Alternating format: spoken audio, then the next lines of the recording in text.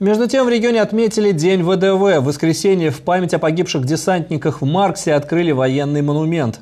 Его установили в аллее героев возле Вечного огня. Надпись на каменной плите напоминает о том, что в Маркс-штате в 1941 году был образован первый воздушно-десантный корпус, который участвовал в обороне Сталинграда.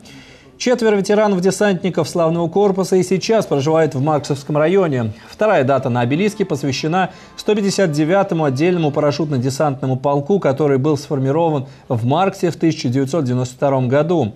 Этим обелиском марксовские десантники хотят восполнить пробелы истории и еще раз напомнить о подвигах ВДВ. Путь от идеи до воплощения занял военных всего две недели. Мы все собрались и вместе э, набросали макет вот, и воплотили это все в жизнь. То есть э, были собраны деньги, э, также добровольное пожертвование. Мы собрали кто, кто что мог.